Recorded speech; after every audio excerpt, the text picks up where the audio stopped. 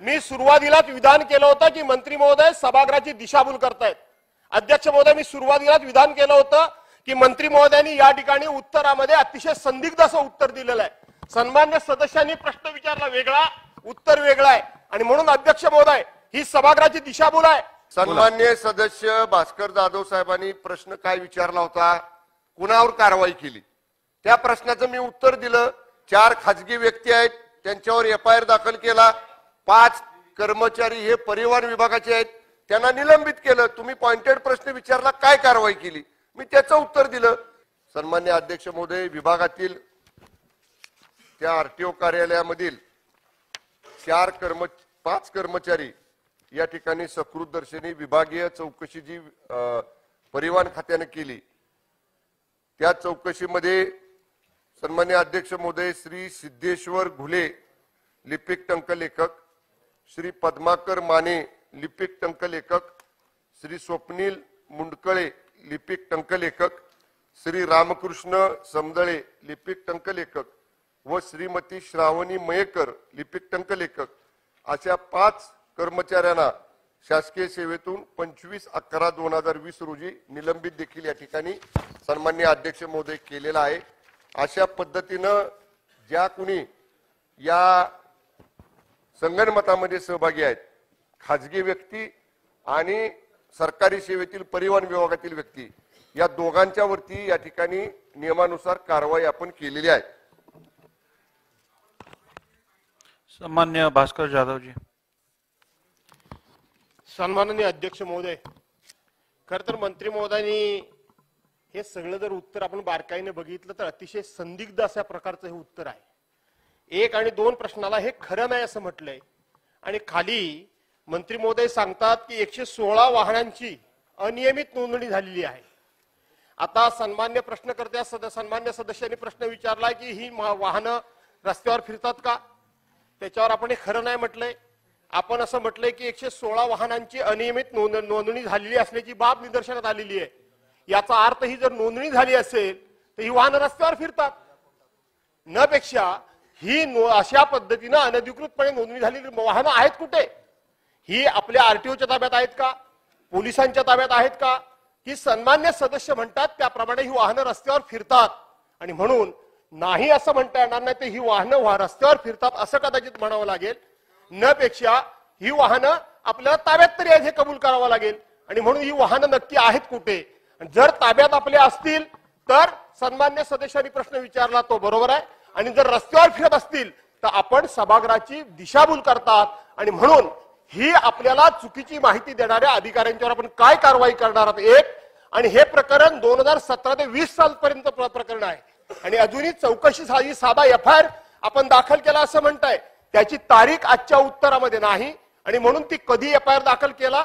आणि F I R दाखल ज्या व्यक्तींच्यावर शासकीय व्यक्तींच्यावर केला ती शासकीय सेवेमध्ये आहेत का? त्यांना सस्पेंड करण्यात आलेलं आहे असे तीन प्रश्न माझे आहेत अध्यक्ष महोदय सन्मान्य अध्यक्ष महोदय हे खरं नाही एवढ्यासाठी म्हटलेलं आहे की सन्मान्य सदस्यांनी प्रश्नामध्ये सिंधुदुर्ग जिल्ह्यातील आरटीओ कार्यालयात दोन हजार अठरा ते दोन हजार बावीस असा उल्लेख केलेला आहे.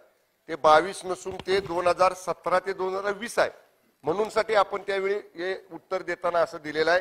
आणि जो या ठिकाणी सन्मान्य सदस्यांनी प्रश्न उपस्थित केला की त्यांच्यावरती गुन्हा कधी दाखल केला तर सन्मान्य अध्यक्ष महोदय हा गुन्हा सन दोन हजार वीसमध्ये भारतीय दंडविधान कलाम तीन कलम तीनशे स- चारशे सहा चारशे वीस चारशे चौऱ्याऐंशी चारशे पासष्ट आणि चारशे अडुसष्ट अन्वय या ठिकाणी तो गुन्हा आपण या ठिकाणी सन्मान्य अध्यक्ष महोदय दाखल केलेला आहे. या वाहनांची नोंदणी सन्मान्य अध्यक्ष महोदय रद्द झालेली नाही. ही नोंदणी या ठिकाणी तशीच आहे. आणि मी मगाशी उत्तर दिलं त्याप्रमाणे पाच कर्मचारी निलंबित केलेले आहेत. आणि सन्मान्य अध्यक्ष महोदय बाकीच्या चार व्यक्तींच्या वरती आपण फौजदारी गुन्हा दाखल केलेला आहे. ठीक आहे. सन्मान्य मंत्री महोदय म्हणतात की आपण चार पाच सरकारी कर्मचाऱ्यांना निलंबित केलेलं आहे. एफ आय आर दाखल झालाय दोन हजार वीस साली मंत्री महोदय म्हणतात. आपल्याला या आपल्या शेड्यूल प्रमाणे किंवा शासकीय नियमाप्रमाणे अशा लोकांना आता सहा महिन्याच्या बा- वरती बाहेर ठेवता येत नाही त्यांच्यावर गुन्हा सिद्ध होत नाही तोपर्यंत. आणि म्हणून माझा मंत्री महोदयांना पुन्हा एकदा प्रश्न आहे की हे निलंबित केलेले निलंबितच आहेत का आता सेवेमध्ये आहेत? आणि दोन हजार वीस साली दाखल झालेला एफ आय स्टेटस काय आहे? सन्माननीय अध्यक्ष महोदय. बसा बसा. सन्माननीय अध्यक्ष महोदय ज्या निलंबित कर्मचाऱ्यांना आयुक्त परिवहन यांच्याकडे त्यांनी अपील दाखल नियमाप्रमाणे जे असतं की स- निलंबन कालावधी पूर्ण झाल्यानंतर त्यांना सेवेत घेण्याच्या अनुषंगानं. तर आयुक्त परिवहन यांनी दिनांक एक दहा दोन हजार एकवीसच्या आदेशान्वये पाच कर्मचाऱ्यांना उपरोक्त शासकीय सेवेत पुनर्स्थापित केलेलं आहे. चला. मी सुरुवातीलाच विधान केलं होतं की मंत्री महोदय सभागृहाची दिशाभूल करतायत. अध्यक्ष महोदय मी सुरुवातीलाच विधान केलं होतं की मंत्री महोदयांनी या ठिकाणी उत्तरामध्ये अतिशय संदिग्ध असं उत्तर दिलेलं आहे. सन्मान्य सदस्यांनी प्रश्न विचारला वेगळा? उत्तर वेगळा आहे. आणि म्हणून अध्यक्ष महोदय ही सभागृहाची दिशाभूल आहे. की एका बाजूला आपण सांगताय. मंत्री महोदयांनी सांगितलं की एफ आय आर दाखल झालाय दोन हजार वीस साली आणि त्याला निलंबित करण्यात आलेला आहे. मी आता पुन्हा प्रश्न विचारला तेव्हा मंत्री महोदय सांगतात की दोन हजार एकवीस साली आयुक्तांनी त्यांना पुन्हा सेवेत घेतलं अध्यक्ष महोदय. काय चाललंय अध्यक्ष महोदय? की एकशे सोळा लोकांचं विना परवाना त्या ठिकाणी नोंदणी चालली आहे. आणि सरकार त्यांना पाठीशी घालतंय. आणि हे मंत्री महोदयांना माहीत नाही की दोन हजार एकवीस साली त्यांना आयुक्तांनी सेवेत घेतलं. आणि मंत्री महोदय दोन हजार बावीस साली सभागृहामध्ये सांगतात की ते निलंबित आहेत. नक्की काय अध्यक्ष महोदय? मान्य अध्यक्ष महोदय सन्मान्य थांबा सद- थांबा. सन्मान्य सदस्य भास्कर जाधव साहेबांनी प्रश्न काय विचारला होता? कुणावर कारवाई केली? त्या प्रश्नाचं मी उत्तर दिलं. चार खाजगी व्यक्ती आहेत त्यांच्यावर एफ आय आर दाखल केला.